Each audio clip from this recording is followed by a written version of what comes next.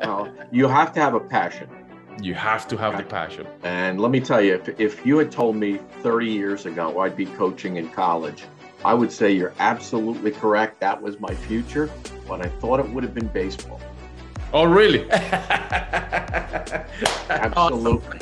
Anybody who knows, like my brothers kid me all the time because we all grew up as Yankee fans and, and avid ball players. We were playing tons, and then I got introduced to fencing, and everything went a different direction. Different direction. I never know the way it goes. But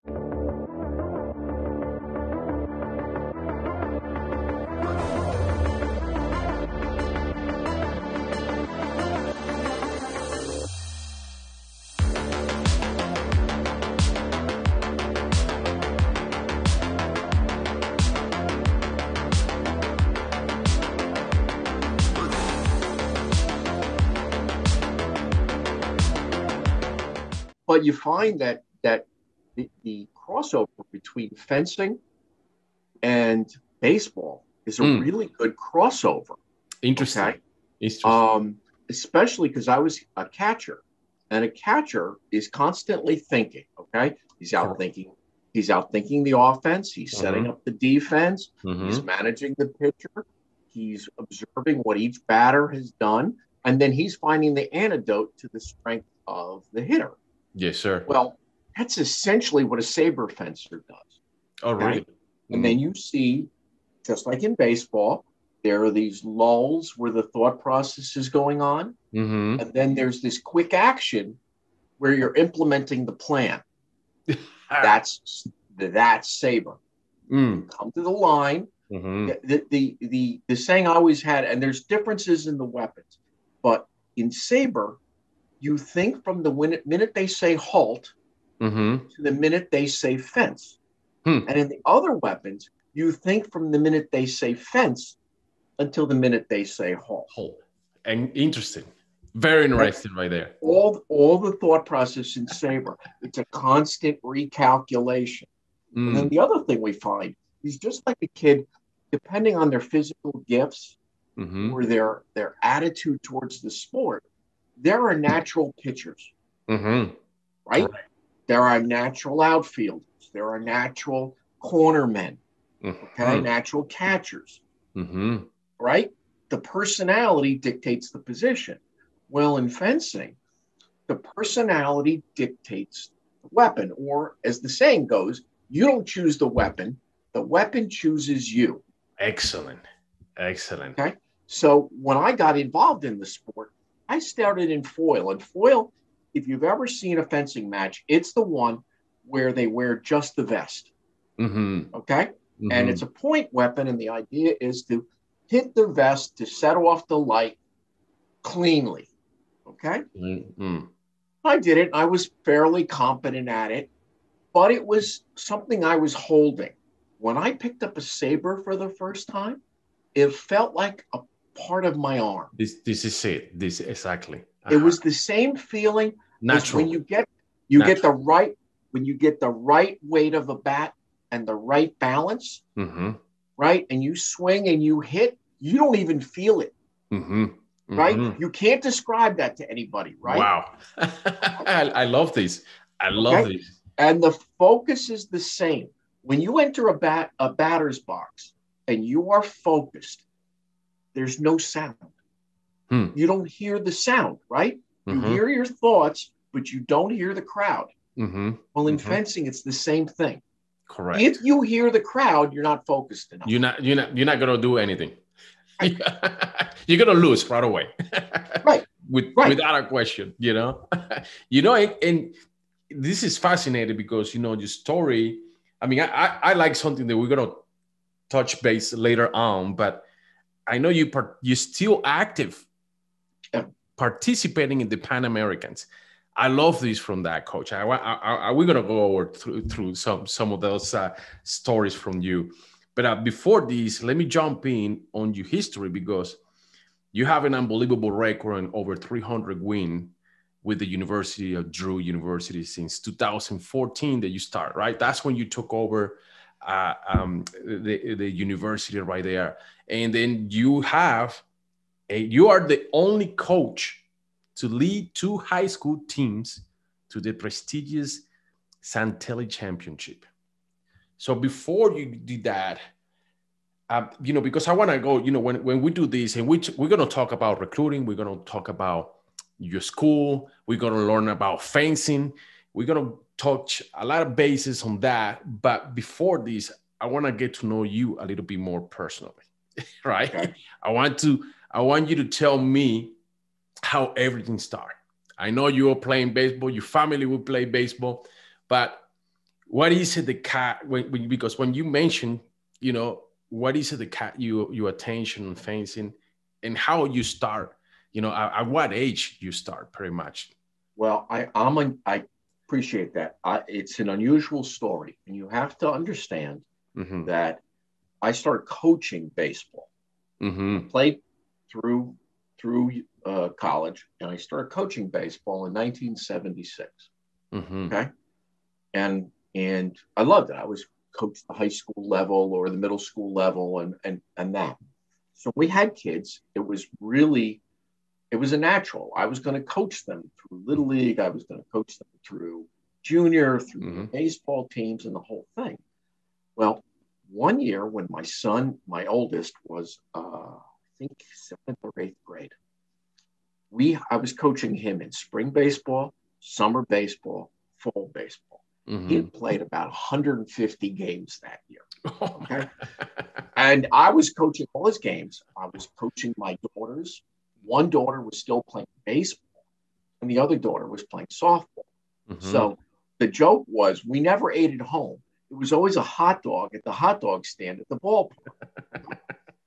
and we we come home and it is and i still remember the day it was november 1st he had played his last fall game on halloween on october 31 he sits down at the computer in our family room basement and he gets on his computer and he says great now i'll get to play all my favorite video games until next spring well my wife hears that she goes crazy and she oh, does not want him on the on the computer all winter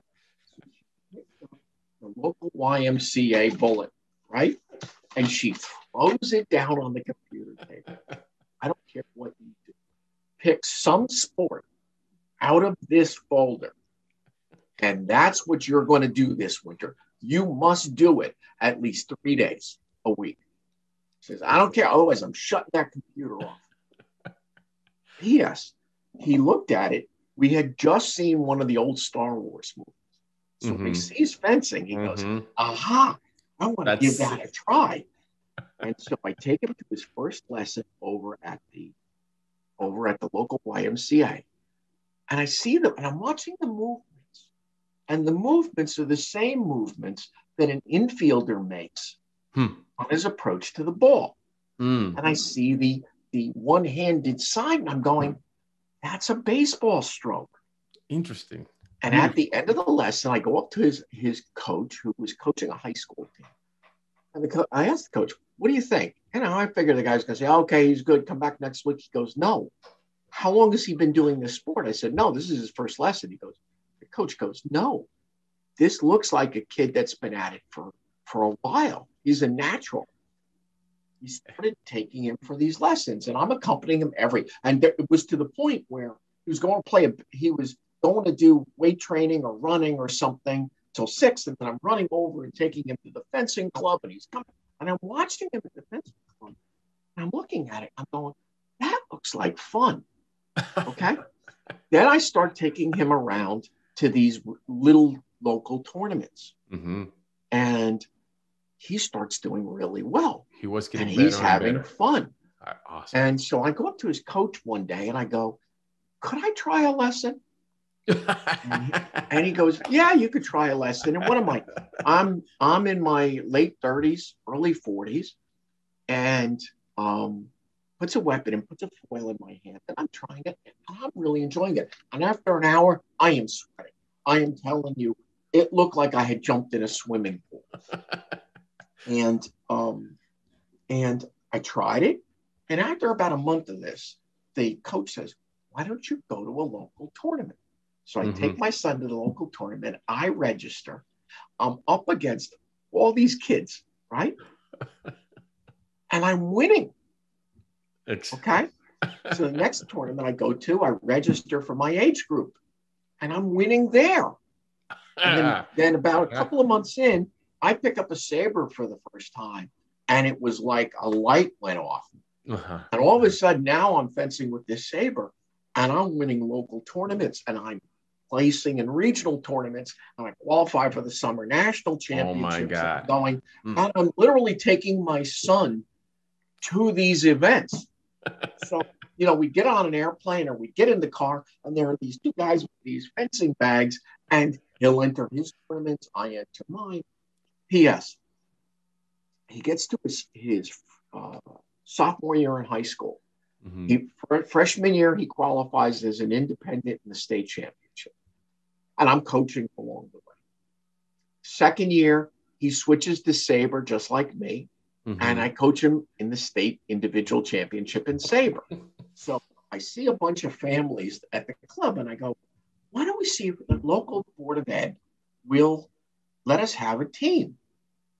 And so, okay, we go to the board of ed, and it was an odd discussion because once I started researching it, I started finding out that all these great colleges have fencing and they have Mhm. spots that are empty. Mm. So instead of promoting it, look, here's a sport, another sport to add to your list. Mhm. I started promoting it with these other parents. Look, excellent. you want our kids to get into better schools. Yes. This is a sport that gets them into better schools. Never with a thought towards scholarship, always with a thought towards a better education. But there you are. Uh-huh. Okay. Mhm. So they Mhm. they go to they they we put on a demo at the local board of ed. My son makes one cut on on uh, one of his friends that hits the blade, and the, the blade strikes the other blade, and sparks jump off. Hmm. The minute the sparks jump off, all you could see all the eyes on the individual board members wide open, and they we had it at that point. And they said, Nice. "Okay, who are you going to get to coach?" And we go, I'm- no, I'm it went here. like this. I, I'm, I'm it. So within four years, we start the team. His beginning of his junior year, uh, he plays on it for two years. Uh, he makes the state championships. He becomes district champ. Within four years of us starting it, we have a state championship. The Mm. team, we have a state championship. My little Yeah. one comes across. My my, my youngest comes through the Mhm. system, and by that point, they've now changed the rule. The rule is parents cannot coach their own kids. When Oh. they pass that rule, like nine coaches, myself included, had to be let go. So here I am. I got no, no place to coach. Mm-hmm. Mm-hmm. And I hear about a local high school a com- that is looking to start a fencing team. So the parent that's in charge calls me. I explain my advice, you know, how I got the one. We go through and we put through at that school, the school's name is Governor Livingston High School. And they hire me to be their head coach to start a program from scratch. I didn't know Nice. anybody in the town. Start the program within four years. We went from startup again to state champs. On the way, beat my daughter's team Mm. in a playoff round. And the- okay, you had to see it. And meanwhile, now I'm taking my my my son goes off to college. He's fencing to college. My daughter's coming through this our system, so I'm I'm training my high school team till seven or eight o'clock at night. Uh-huh. Coming home, picking my daughter up, and training her till ten o'clock at night. Oh my. Wow. Okay. So I'm, I'm like actually going and I go through all this and um eventually I go back after about seven or eight years. My kids have cleared the system. I go back to my original, the original high school, Bernards High School, and win a Santelli championship with them.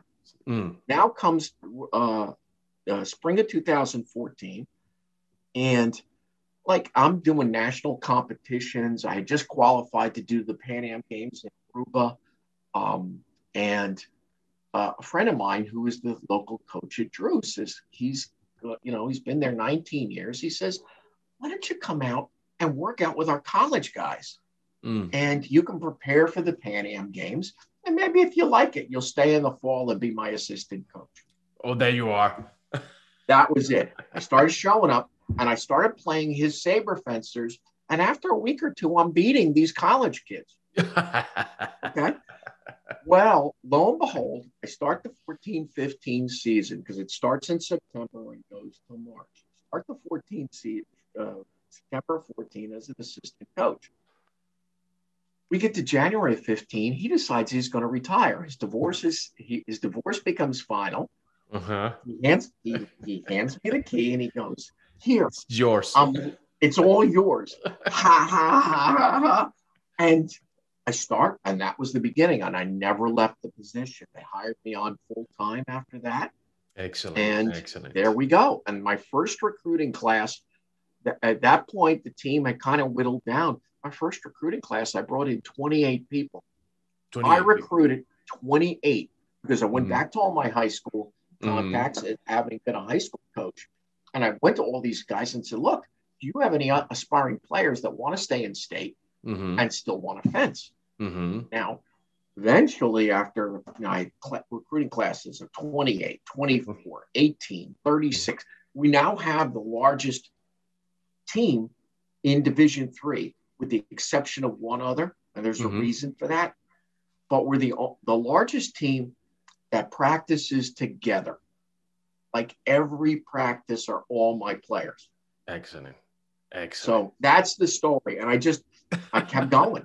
And then the, what a normal recruiting looks like mm-hmm. is the kid coming out and sparring me. Mm-hmm. Mm-hmm. So it's a really unusual. In fact, I've got somebody coming in this fall Mm-hmm. who I actually met when they were competing in the Pan American Games uh, in the youth division, and I Mhm. was competing in the veteran division. And Mhm. one night I saw the parents in the restaurant, and we just started talking. So, That's You beautiful. know, when you when you can go out there and, and do that, it's it's it adds another dimension. Because when you think like a player, you think like a player. Excuse me. If you think like a player, thinking like a player is different than thinking like a coach. Mm-hmm. Mm-hmm. What's the difference? What's the difference right there? Because I mean, you're active too, and you coaching. So, so when you are competing, are you coaching yourself as well? You are. You are. When you coach a sport, you are thinking what your players should do. Mm. Mm-hmm. When you are competing in a sport, you're thinking of what the opponent's about to do. Mm-hmm. Beautiful. Beautiful. Okay. You just have to turn just, the psychology. just switch it. Just switch that. Now, what happened with your son? So he started completely playing baseball. He went full time fencing. He ended up he ended up going to um, that's the funny part. He ended up getting into Princeton Mm. to fence hmm and chose not to go to Princeton. Oh, you kidding me?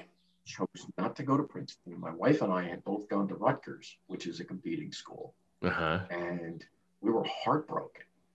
and he chose instead to go to a small college by, uh, in North Jersey that had fencing.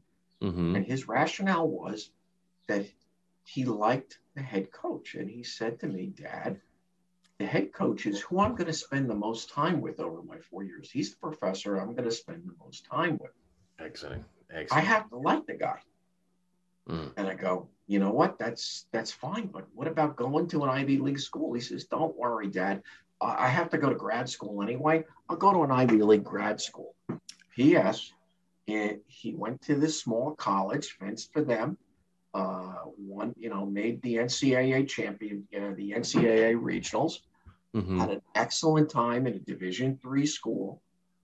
Studied hard, and he got his PhD from Yale. From Yale. Wow.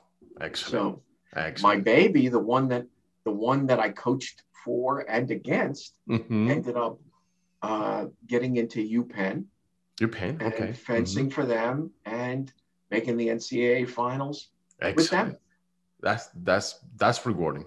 That's extremely Okay. rewarding right there. That's So beautiful. you're dealing with a situation where it, it worked both ways. You Mhm. know, my daughter went Division One, and Mhm. it was highly competitive, and and my son went Division three, and it was still competitive, but it was a different mindset on a Division three team. Division three, and it's and it matched their personalities. We're gonna go over that because I know you compete against D1 schools constantly. I mean, last last uh, season, I mean, you have uh, St. John's, which is a Division One. You have Lafayette, Division One. You have Sacred New Jersey, Heart. yeah, Sacred Heart, Division One. You have New Jersey Institute uh, uh, of Technology. That's a Division One. So that's and, and last year, uh-huh. before the COVID closures, we had Northwestern Division One. There you are. Mm-hmm. Uh, UPenn Division you, One, Notre Dame defending Those are national, I, defending Ivy, national Ivy schools. Ivy schools. So you compete against those, even the you are Division Three. So that's that's very interesting because you know people probably would not know that, you know, when it comes to recruiting. When I when I when I encounter foreign students, and I actually lost a recruit this year mm-hmm. to another school that was Division One for no other reason than he thought that Division One was like in soccer. Division One team in soccer is better than a Division Three team mm-hmm. in international soccer. And this player mm-hmm. was coming from France. Mm-hmm. And they and, and I try to get it through his head that the Division One team he went was going to that he's going to be at in the fall. Mm-hmm. We had beaten eight out of eight times in my tenure at Drew University. well, he's so going to be hurt. Be Division One, but we've kicked its butt. Yeah, consistently. Yeah. He's going to be hard.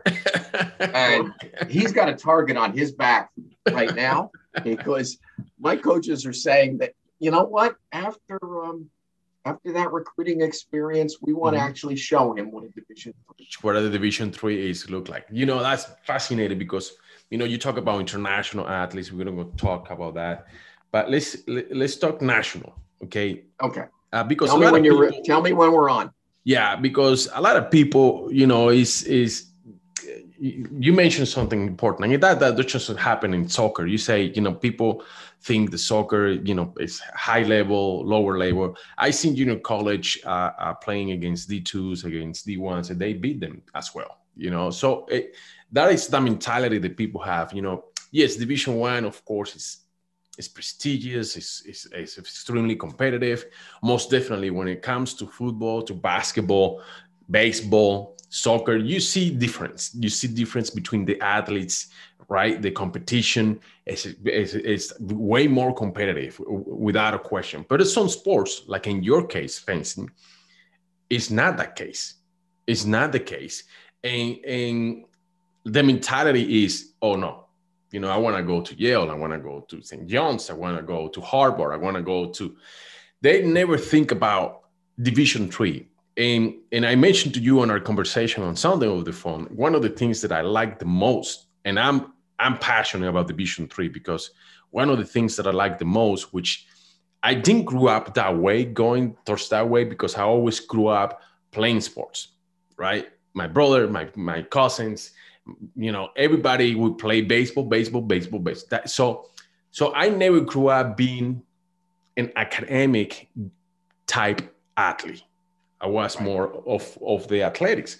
But when I got to know more about recruiting, I got to know more about college in United States. You know, after a few years of practicing and, and going uh, to presentations and talking to athletes and parents, I got to know that Division three. If you take a look, you can Google that.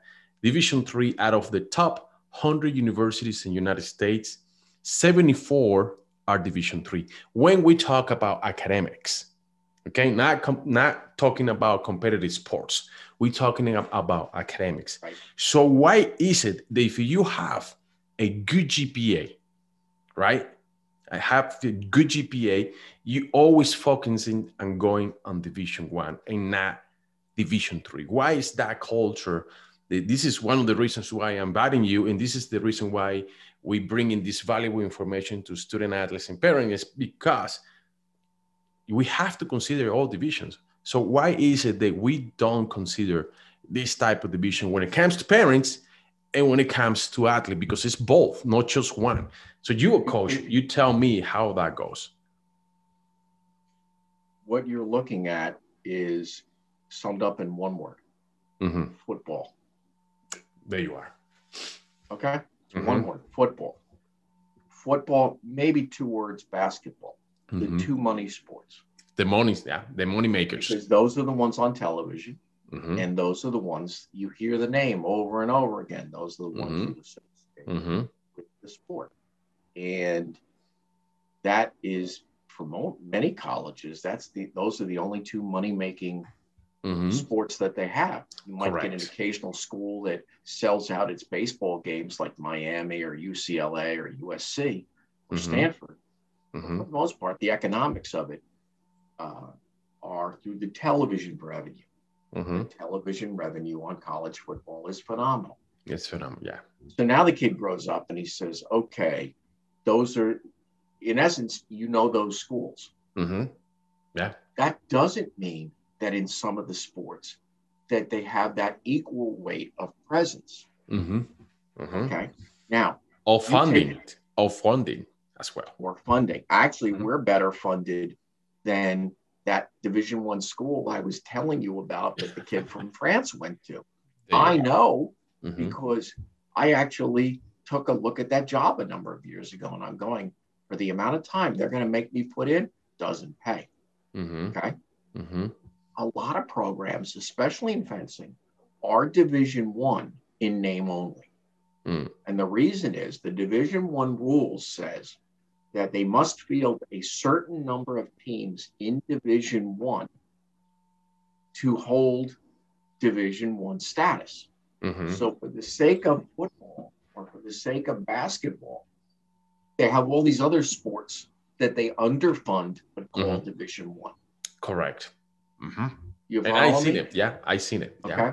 Mhm. So there's a whole bunch of schools that have no business calling themselves Division One, really in certain sports. Mhm. Uh, I can't speak to my opponents. My, my opponents are quality opponents. Mhm. they're no, for the most part, on any given day, we can give them a run for their money.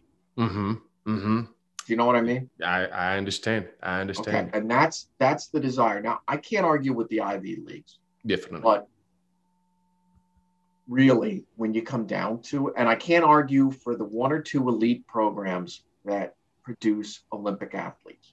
But what Mhm. we tell our recruits, for the most part, you're going to be a pro- you're going to be a professional when you get out of our program. You're just not going to be a professional fencer. There you aren't there aren't professional fencers. Mhm. What there are are kids that have learned school skills that will turn them in, into professionals at something else. Extremely. Yeah. You're gonna have Okay. a good good degree, the good education, which is Well, you've also been involved in a team. Now, a lot of fencers at the scholastic level don't have even have high school teams. Mm, So if they compete in the regional or the local circuits, they're competing alone. mhm. So we teach them, or we refine for the ones that did have a high school team, uh, how to function in a team, how to be responsible for the the growth of the team, how to be a good teammate, how, Mhm. even something as simple as how to travel with teammates. Mhm. Mhm. Okay, Mhm. how to self motivate, how to, you know, you got to how to uh, handle a dispute resolution with a teammate Mhm. you know, creating that little healthy rivalry within the team that doesn't become destructive. All of those are skills you're going to use no matter what business you're going to go into. Without a question. Without a Okay. question. Mhm. Then you start looking at the, the quantum of these scholarships Mhm. and the requirements that they have. Like, for example, Division three has a limit on the number of hours that you can have team mandated activities per week. Mhm. has a limit on the number of days. Mhm. Now, that's for official activities. Mhm. If my kids want to go lift weights on their own time, they can do it, They can do it. Monitored, unrecorded, no punishment if they don't. But Mhm. they self motivate to do that. Mhm. Division one has virtually no limit. There you are. Okay. So now, where my kids are spending 20 to 25 hours a week on team related activity besides competition. Mm-hmm, mm-hmm. That, Just within the school, within the school, you practice all that. That division one player may be spending an additional 15 hours. 15 hours. They yeah. might have might get to 40 hours a week. Now, mm-hmm. take now you think, okay, well, they're getting a scholarship. Well, those scholarships on average are under $5,000. Mm-hmm. Mm-hmm. They would be better off for that additional 15 hours working at McDonald's. you know what I'm saying? Yes, yes. They would make more money working at McDonald's than they would for the additional time. And mind you, we're playing the same opponents. We're even playing each other. Yes. the same opponents. In a lot of cases, we're in the same conferences. Mm-hmm. We're we're actually in Division Three. We have a better travel schedule Mm. because we on the East Coast, all the Division Threes are really compressed to hmm the point where the furthest we are, eh, like if we go up to Boston, it's a five-hour bus ride. Big Mhm. deal. You can do that in one overnight. Anyone Some of those Division Ones are going from North Carolina up to Michigan, Yes. and they're not flying. hmm They're on a bus for 11, 12, 14 hours. Yes. Going to an event may ruin them for two or three days. Yes. Where my kids are going up, most of our stuff, the bulk is within a three-hour bus ride. There you are. Mm, There you are. Okay, who's got the better lifestyle? Yes. Yes. no questions asked. You and know, then my my son's maxim, my son's maxim. Hey, Dad, um, you know, I, I the coach is the one I'm going to spend the most time with, Mhm. so I've got to like him. you know, I, I like, I love that because, um, you know, through the podcast, I had the opportunity to talk to a lot of coaches, and you know, some of the coaches would talk about culture. Some of the coaches, you know, we talk about what is it that we can do to to impress a kid, right? And and what are you saying is is that your kid did is extremely important because some coaches who come to me and say, I I'm going to have a learn-term relationship with this person. So I need to have a good connection with this person, not just because he's good or she's good, not just because she's, you know, she has a good GPA. I need to have the chemistry with it, with the, you know, so so maybe you, you son pass on the division one, got very good school, but the connection with the coach, that's what changes, you know, his Right. opinion. It's, Right. very important. Get to know the coach and get to know the school before you make a commitment without a question. Correct. And and he bonded there, and I've carried that lesson into when I talk to players. hmm And the other interesting thing is when I talk to players, especially in the Zoom era, talk to their parents too. hmm I have the parents in the discussion because you can tell a lot about the dynamic of the kid to the parent. Because in many times, that dynamic is going to translate to how they view the coach. They Mhm. will either treat, be in the relationship with the coach because of the relationship that they had with their parent or in spite of it. hmm hmm They have a great relationship with the parent, they will expect that with the coach. If they have a horrible relationship with the parent, then they're basically running to the coach as a more comforting parent figure. hmm So you watch that dynamic. Is the kid independent? If I ask the kid a question, if the parent jumps in giving the answer, hmm ah, Yeah. that kid's been sheltered.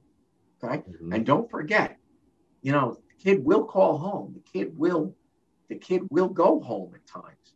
Yeah. What I do with that kid over the course of months, that parent can undo in the course of minutes hmm if we're not on the same page. if you're not on the same page yes sir.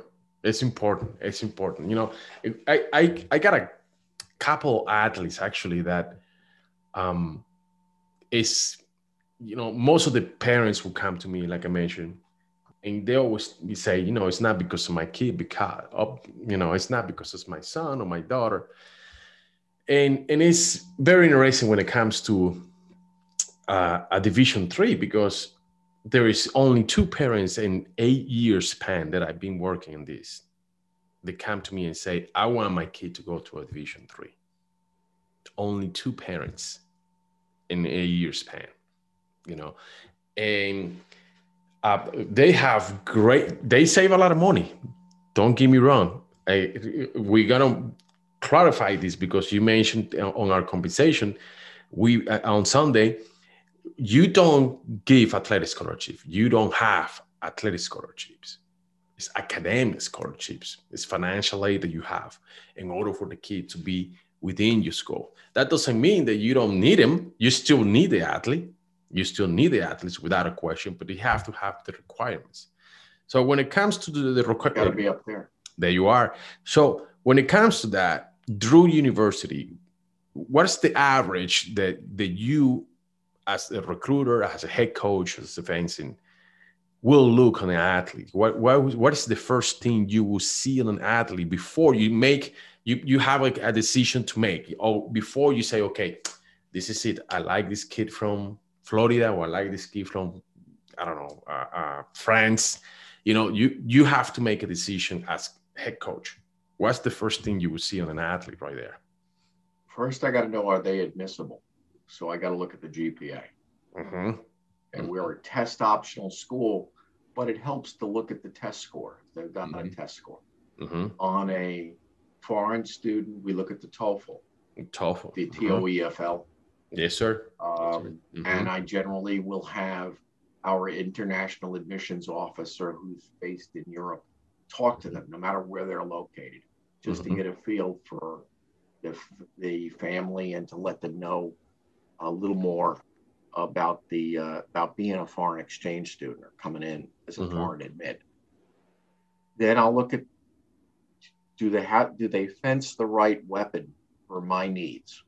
Mm. And I ask an interesting question that I was told once by one of my admissions officers, you shouldn't ask, but I do need to ask. what other schools are you looking I at? I like that. okay. Mm-hmm. What other schools are you looking at? You know, if they're looking at me and they're looking at all these high division one programs, but the kid doesn't have that great a score mm-hmm. or that great a uh, fencing rating, I got to ask, what's the story here?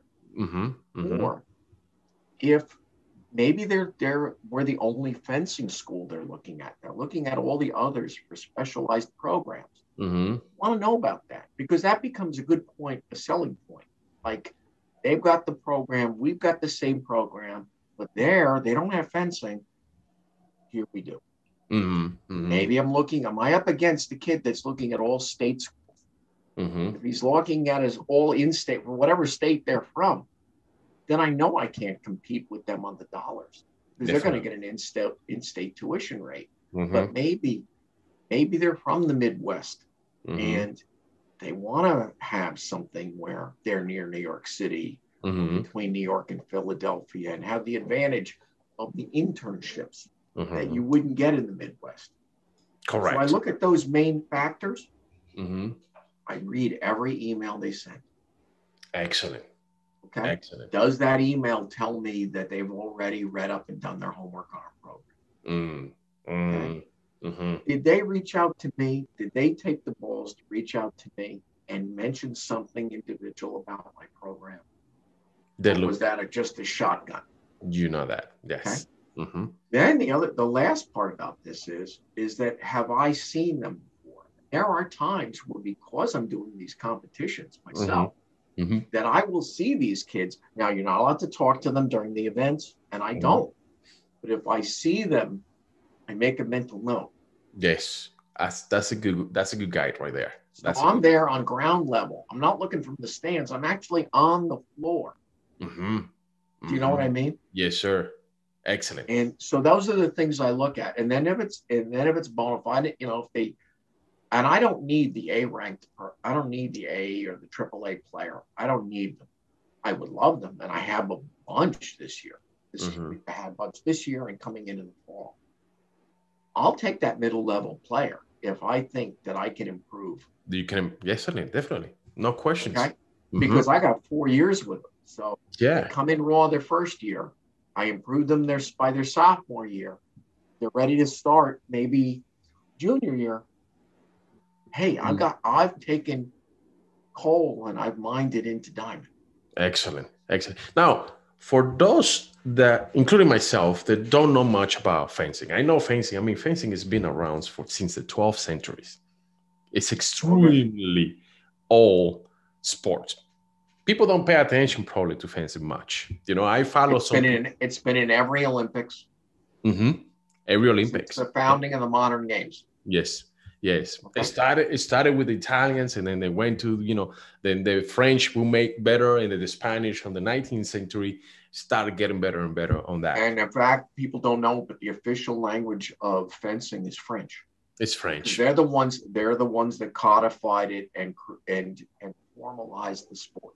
Like, there you are. There you are. So, so most of us, like I said, including myself, you know, I didn't like have no knowledge of of of fencing. So when it comes to college, how many how many guys oh, and girls because you coach both, right? Uh, uh, um, how many people is in within your roster right there? Um, generally, the men's rosters, not only my school but other schools, are heavier than the women's roster. Okay. It's very difficult to get good, and I'm not, I'm not saying ex, excellent, but good quality female athletes. Mm. Okay, they're just they're harder to come by, and in certain weapons, they're even harder than other weapons.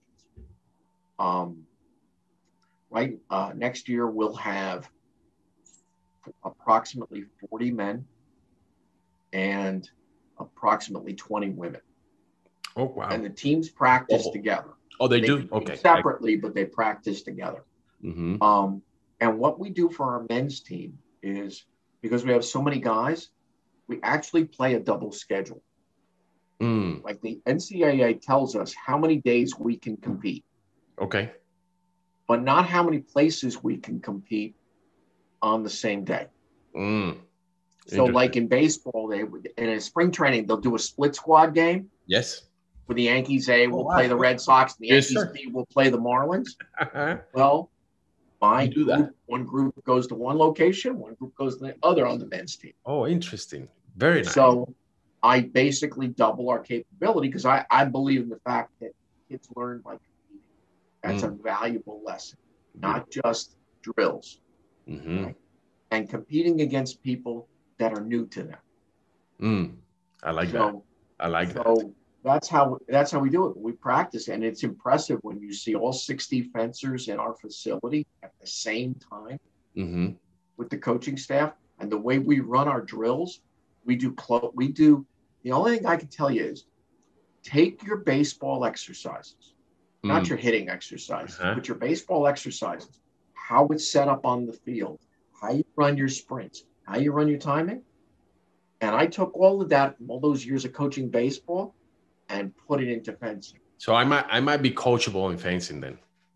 You I might be be. coachable. You might be. I might put it. I might put you in an outfit, and it will seem strangely familiar. really? I. I you know what? As soon as I head to New Jersey, I will let you know. I want I want to take a couple of lessons to see how. I tell you what, you come out. What we we've done in the past. I did this when I was coaching in high school. My first year there, one of the football players said to one of my kids. In fact, I think he told my son, "Oh, you got that's not a really a sport." Mm. So for one of the first practices, we invited the football team to put on the gear. Uh-huh. After about a half hour, these kids are gassed, and my fencers are kicking their behinds. From that point on, the football players started coming to the fencing matches. awesome. Know? I like that. So yeah, you'll see. It's a real sport. Awesome, awesome. I would love to see because, uh, you know, I like I said, I like to learn more. You know, if it, if it, I have never thought about fencing in my life, to be honest with you. But I, I seriously, I gotta take you on And- that, coach. When I when I And until my son, and until my son pulled out that YMCA booklet, neither had I. Really, my wife put it on his desk. She changed everybody's lives in our family. oh, awesome, awesome. I'm just thankful he didn't choose something like basketball because at five seven, I don't have a future in basketball. Five seven, that's good. Well, I'm a little bit taller. I'm like six one, so I'm okay. Okay, but you're you're, you're point guard. I can do point guard. No, I'm have- vertically ch- I'm vertically challenged. Yeah. Now, you know, let's let's talk about, you know, a, a little bit about, you know, because you have an outstanding record, as I mentioned before. Uh, you know, the 2021, of course, the season got cut because of COVID. Uh, you had a record, you know, between the three, the last three years, you have 50, you know, on 2018, you have 41 and 13 with the men's, you have 42 and 11 with the girls. On 2019, 2020, uh, uh, 2019, 20, you have 59 and 19 with the men's and 46 and 18 with the girls. And then COVID hit and, you know, short season, you only have what? In, in those two years, 19 by the way, 19 games. Those two years, we were the top. We had more wins than any team in the country. Oh, really? Look at that. Look at that. Any team in the country. No matter what division is. No matter what division is. Mm. Correct. Excellent. Excellent. A little team in a beautiful, in a beautiful town in North Jersey. I mean, you know, and we used to kid, we used to kid them like they didn't know who we were until we showed up, and they knew who we were. oh, they know the, the, excellent. They know who Drew is. Beautiful. Yeah. Because your school is not a big school. Your school is is, is, is what a good. Um, I would say what eighteen hundred students. Yeah, if you include if yes, if you include the graduate students, a mm-hmm. small graduate student class, it's about eighteen hundred to two. About eighteen hundred, right? Yeah. But we're on a train line to Midtown Manhattan, mm-hmm. 42 minutes by direct train. Uh, we are in the richest territory in North Jersey. The houses, million, couple of million dollar houses, all surrounding. Mm-hmm. in the town that's ranked by New Jersey Monthly Magazine, the number one town in the state.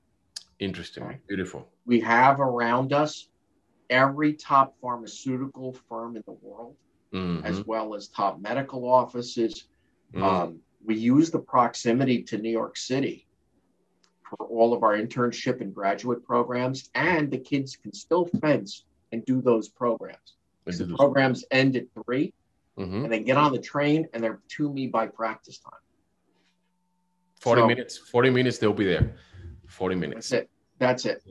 So it's a and, great location. It's yeah, a beautiful location with beautiful location. It's a spectacular. That, yeah, but a lot of spectacular town. Yes. See, a lot of people don't know that. So it's good to know that way we can, you know, promote that, you know, in order for people to get to know more about the university. If it's know. it's among the richest towns in the country. Excellent. Okay. Um, and the the lifestyle, it's a very suburban lifestyle, but I mean the other advantage our school has, and don't take this the wrong way, we don't mm-hmm. have. Mm-hmm, mm-hmm. Which means we don't get drowned out by all that football brings. Oh, yes. Okay. Mm-hmm. And on my campus, the other teams that play for our school play in a very small Division three only conference. And it's a good conference, and they're very good small schools, and that has its place. We're the one team that's not in that conference. In that conference. Mm-hmm. And so when, when when you hear these other teams playing Muhlenberg or or Susquehanna, mm-hmm. that's great.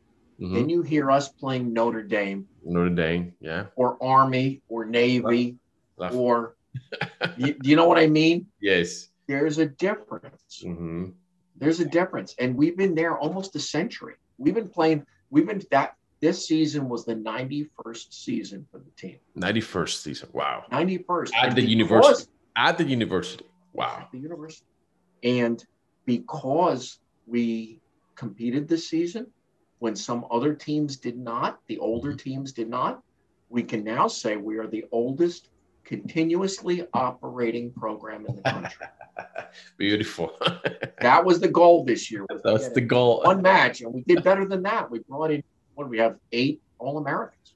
Eight All Americans. There you are. There you are. Nobody else has done that. Mm. No, none of the Division threes have done that before. Yeah, beautiful. You see, that's that's that. This is something that's extremely important for people to get to know more about that. Now, COVID hit, and you know, unfortunately, we have to go over a little bit. Have anything changed nowadays? You know, I know that everything is changing because of the vaccine and everything, but does anything change by the comes to you know comes to recruiting?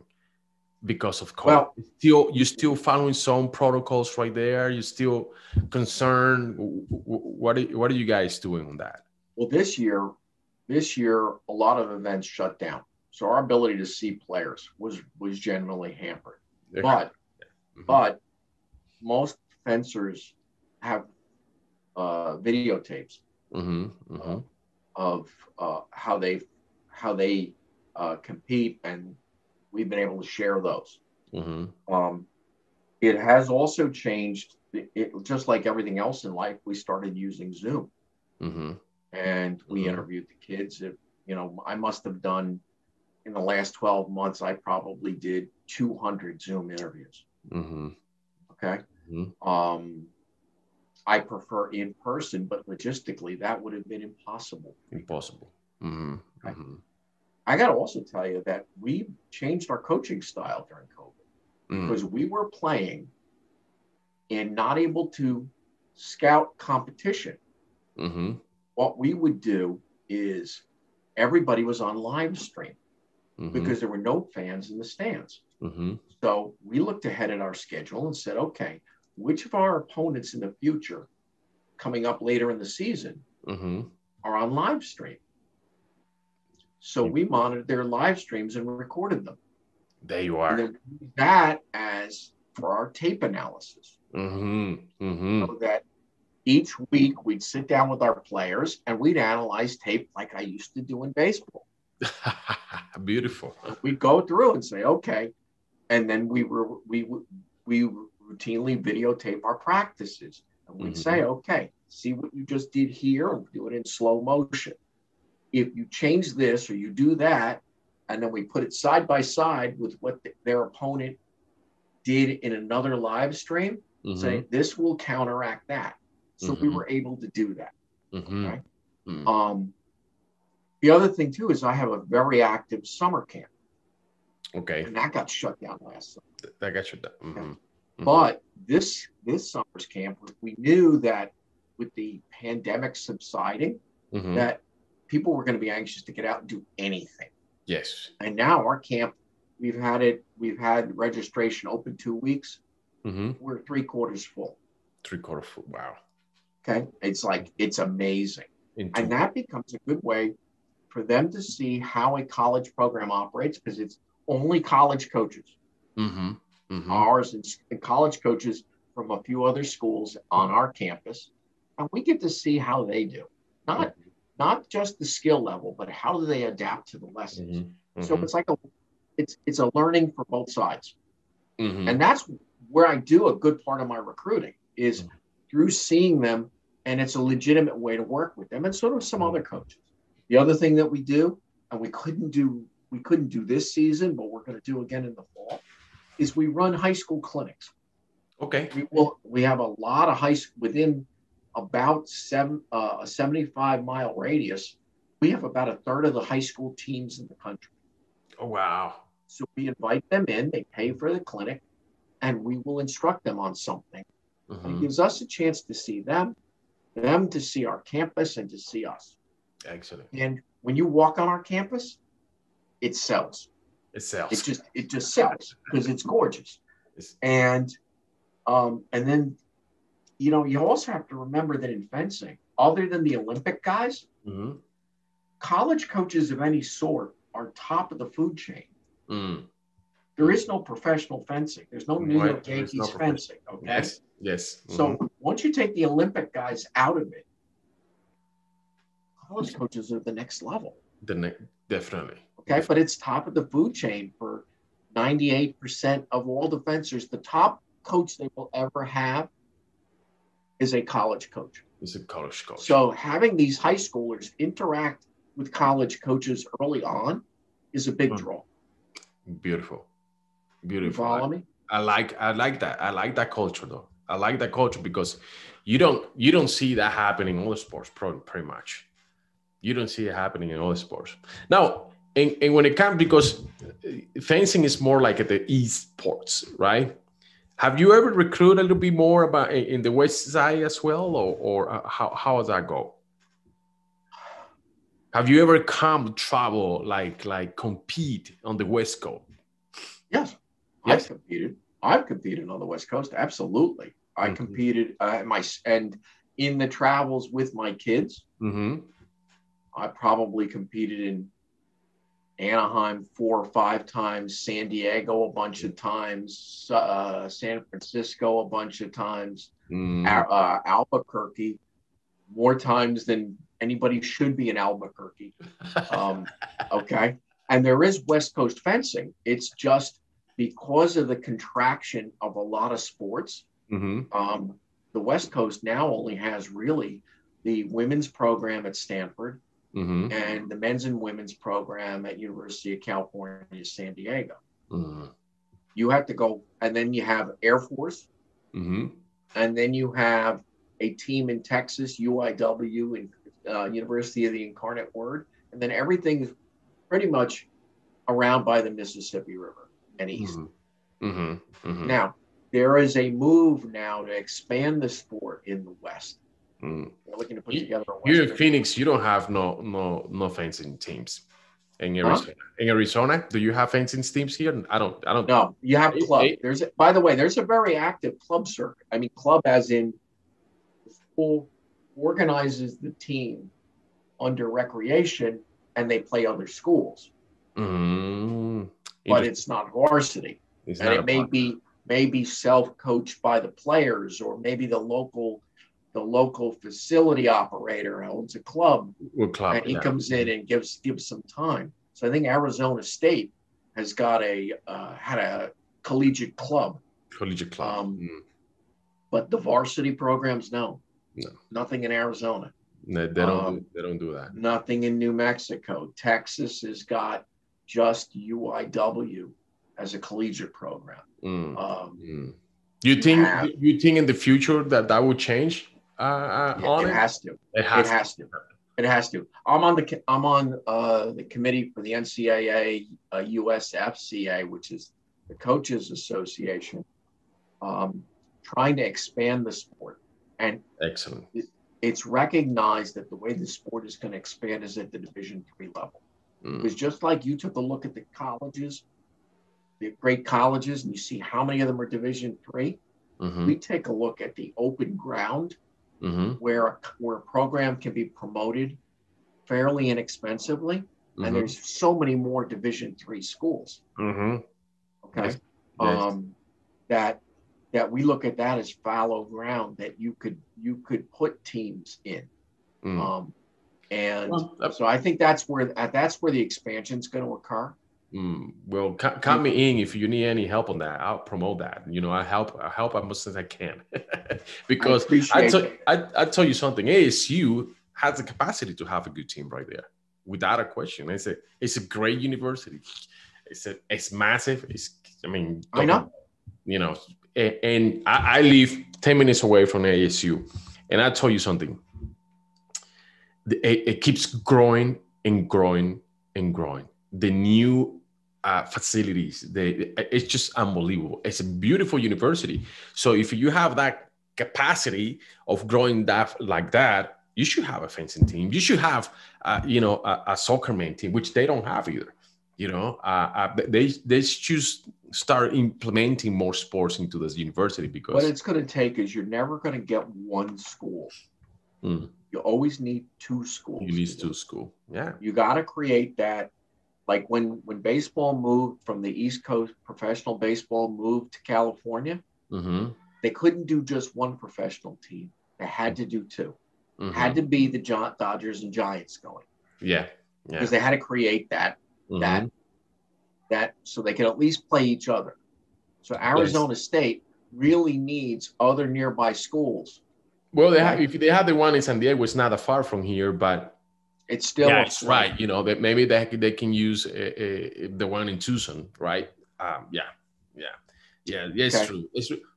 There's not too many universities here in the states. Uh, to be honest, it's a small. When it comes to that, it's a small. It's a small community right there because Yeah, but have- I, I take a place like Texas, which has got a lot of clubs, Yes. a lot of private clubs, Mhm, and you know, University of Houston should have it.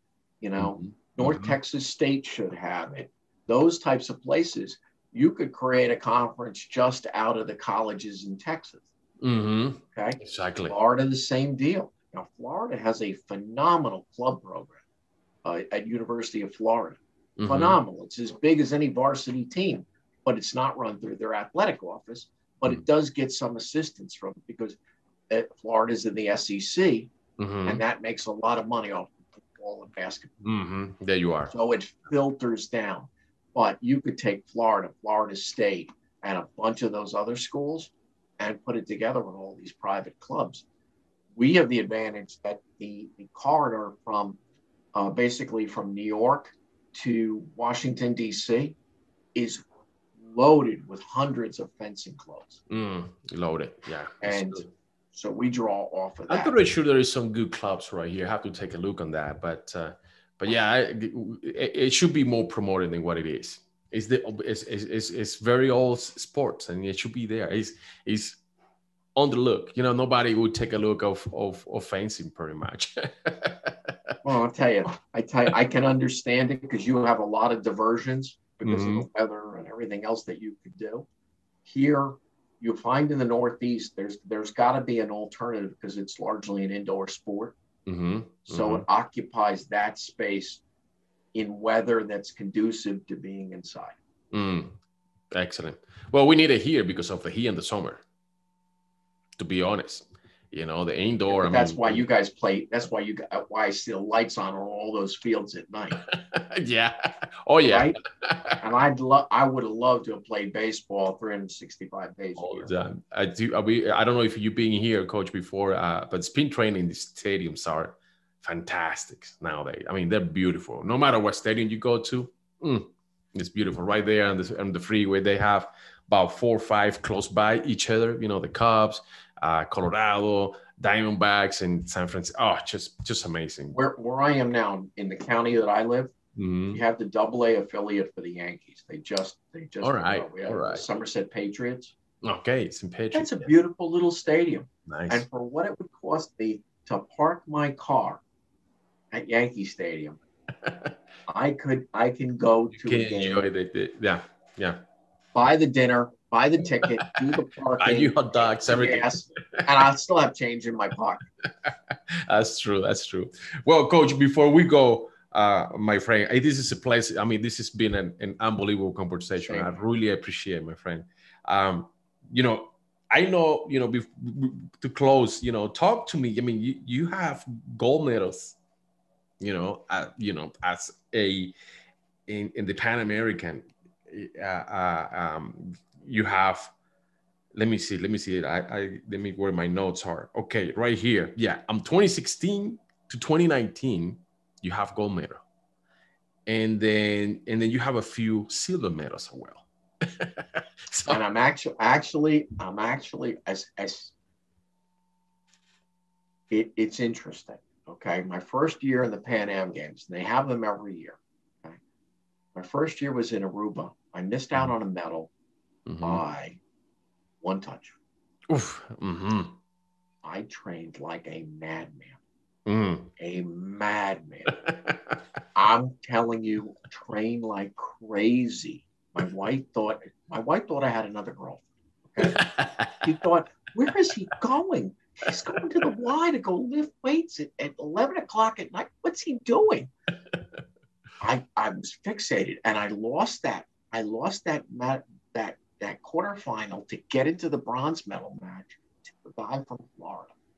Mm. We just happened to be on this U.S. team together and fencing. While you have countries, you're still competing.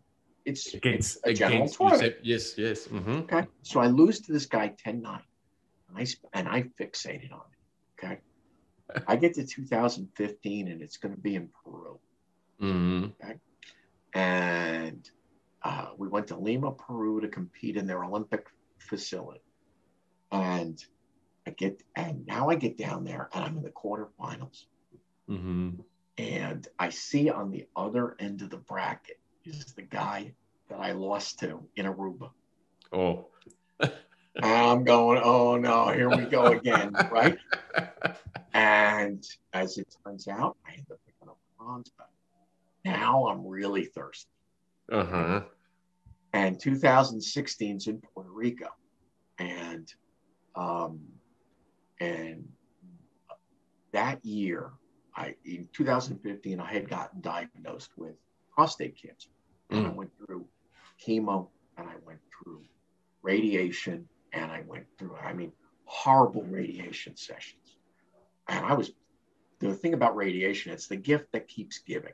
Okay, Mhm. you get a Mhm. radiation session in July or August, you won't feel it till the following March. when You Mm. get radiation sickness. And that's what was happening going from 2015 to 2016. Hmm. Meanwhile, my dad passes on in March of uh, 2016. And um, and he was the one that was always like, go ahead, keep doing it. Do what you love. Do what you love. Mm. Go ahead Beautiful. and pursue it. And um, so now I said, I say to myself, I said, look, I got to have some, I want to have a reward for myself if I win. If I get a medal in, in Puerto Rico, if I get a medal, I'll get a tattoo. Okay. okay. So I said, you know, and I, and I, don't- and I start thinking about the tattoo and I think about it, and think about it. And now I'm working out and um, first day of competition, I am horrible. Mm. And a friend of mine from New Jersey, who's there competing in the in the same division, takes me aside and said, "Just calm down. Just don't think about the medal. Don't think about anything else. Mhm. Just focus on what you got to do. Mhm. You know, real good advice. W- w- one, one match at a time. One touch at a time. Uh, there you are. says, okay, go back to what you do naturally. Go back to one Mhm. touch at a time. hmm The next day happens, and I win the first match, win the second, win the third, and I keep winning. Mm. And all of a sudden, I'm going up in the ratings and up in the ratings. Now we start our direct elimination playoffs, and I'm beating everybody. I get up against this guy I had gone to dinner with, and I end up smoking him, right?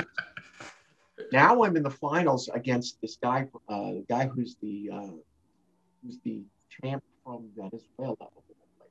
hmm hmm And I knew the guy, very nice gentleman, very refined gentleman, but very classical style. And I decided I got to do something completely off the rails. So, first touch, first touch comes, and the, the director, lady director says, Ready, fence. And I come in and I swipe down. He sees my head open. It comes to slice here. I come back up and I take his blade. Okay. Mhm. Hadn't used that move the entire tournament. Hadn't seen anybody doing that the entire and scored on. Now my brain starts thinking, and mind you, going into that match, I'm going into the finals, and I'm thinking to myself, well, silver medal's just as good as a gold. Maybe I can get the tattoo with a silver. And I can almost hear my father's voice saying, You may not be back here again. You better go all out. All right. So I get the first touch. I get it. All of a sudden, in a 10 touch match, I'm up on this guy for nothing. Mm. He scores on me. It's 4 1. He goes to score again. I take his parry and I hit him. And they have video replay. Okay. And I think that I took the, the parry and I scored before him. So Hmm. I asked for the video, and she calls it in his favor. So I asked for the video replay, and the judges tell me, oh, the video is broken. It didn't pick up the Oh, really? and in the back of my brain, in the back of my brain, I can hear a voice saying, they're trying to take this away from you and your dad. And I uh-huh. just went crazy from that point on and, and ended up smoking him. And I got to tell you, no matter what level you compete at, when you take the medal stand with a gold medal and they're playing your national anthem, Beautiful. crying, you can't, you can't control the can't emotion. control that. You can't control that. Yeah. So the next year we we compete in um, where was 17 Virgin Islands. Virgin. Oh, nice. End up beating the same guy. Oh, really? That, that friend that had taken me to dinner ended up beating him in the finals. Third year, I had from all those years of baseball, I had a shoulder, I had to have a shoulder replaced. Mm-hmm. So in eight, January of 2018, I turned around and started fencing left-handed. Oh my. Never fenced left-handed before, but to see how the baseball skills work, when Mhm. you're a right-handed batter, your left eye is dominant. So I Mhm. found that being a left-handed fencer, I could see better. Oh, So now I'm looking dominant the left eye, Uh-huh. and I'm going through these preliminary qualifiers. I'm doing okay, but I'm I'm, I'm, I'm losing bouts that I know if I had been healthy right-handed, Mhm. that I would be able to win. All of a sudden, something clicked, and I found that it was really good to be left-handed. It was unusual. Mhm. I started beating guys left-handed that I had never beaten right-handed. Mm. I get to I get to El Salvador to compete and we go through the preliminaries and all this other stuff and all the guy that I lost to in Aruba for that bronze medal Uh-huh. Uh-huh. is razzing me. He qualified. He's razzing me. Gee, you know, it's too bad you're only here left-handed. and who do I draw in the finals? oh man, there you are. There I am, okay? And I put him away. I got that that Excellent. That was so satisfying. Smoking. And he's a great guy. I'm actually going to fence him next uh, on Friday in an event down in uh, down in uh, Pennsylvania. But it was so satisfying. Um, and anyway, so that's it. I mean, it's it's that sort of thing, and it gives you some. If you are goal oriented, nothing sets a goal like putting yourself out there on a competition. Excellent. Yes. Right? It Yeah. gets you juiced. Okay. Yes, without a question. Yeah. No, I, I gotta put, like I said before in the in our conversation, I gotta put it here in my notes. Drew, I'm writing it down right now. I'm writing it down. Going to practice fence with coach You you you come out. You come out. When in two days I'll have you hitting people. no, no, I, that that would be tough. well, I try, I try. I could do that. I could do that. I like that. I like that. yeah, I like that. Anyway, the uh, the the other thing too is is that as I started doing the international events, hmm I started getting noticed by the international players. Mm. Excellent. Now they go back home, and of course I make a point. Although I'm wearing USA everything, I'm making sure that when I'm walking around and I'm in a t-shirt, that t-shirt says Drew University on. it. oh, And nice. so now they've got the book on me. It's a re- it's a backwards way of recruiting Mm. where you like I have a kid that's on that's on my list for 2022 coming in in 2022 whose parents are he's from El Salvador El Salvador. There you are. and he said to me he says coach I know about you because you beat our local pro okay and that's why he's applying to come in in the US Excellent. you start doing that. Like this year's team had, uh, I think we t- I talked about before. We had a kid from Panama, Mhm. kid from uh, Italy, uh, India, uh, Portugal. There you are. hmm So, so Okay, good, good for international athletes. Excellent. that's not bad. That's not bad at all. Not at That's all. That's not bad at all. no, no. and I no, just wish like I had brought in that kid from France, but now he'll be the target. He'll be the target. That's true. And, I and know you know I- what? I'm, was a- I've found out that the hardest part, the hardest part of recruiting an international student, is telling them is is educating them. Educating, Yeah. Yeah. and educating the parents and, and managing their expectations as to what it's like to be a student athlete in the United States mhm. and kind of dispelling the myths they heard when they were growing up, Mhm. dispelling them in a good way. That look, you may not be making the money you thought you were going to make as a fencer, but look at the world of opportunity Yes. that fencing for us is going to expose you gonna, to. it's it's gonna, yeah. A lot You're gonna be in a safe-. On a safe campus. Mhm. We're taking advantage of New York and Philadelphia, fencing against some of the best fencers in the world, Mhm. and getting a great education in a school where there's a very low t- uh, student to teacher ratio, Mhm. and where you're going to get to work with coaches that still compete. they still compete. Beautiful, beautiful. No, that's that's something that you know. I you mentioned something important to to guide them the best possible. I like I mentioned to you in our conversation on Sunday, I had um, a, a, a girl from Ecuador, and, and to be honest, you can ask the parents. I mean, I sit down with them soon and I say, "This is this is my recommendations to your daughter. You know, don't think about Division One, don't think about Division Two. Um, this she is a very good uh, uh, academics you know she her she's a plus in her classes. She took the SAT 1280 on the first try. You know i mean it's i mean that's a very good SAT results for for a first try on an international athlete. Um and in a non-native language. Non-native, non-native. language. Yeah non-native. And and I say let's look only for division threes. And today she at you know she got a hundred and thirty-two thousand uh, uh you know financial aid help and the other thing you have to look at is how do they view a college education? Do they view a college education as an expense or as an asset?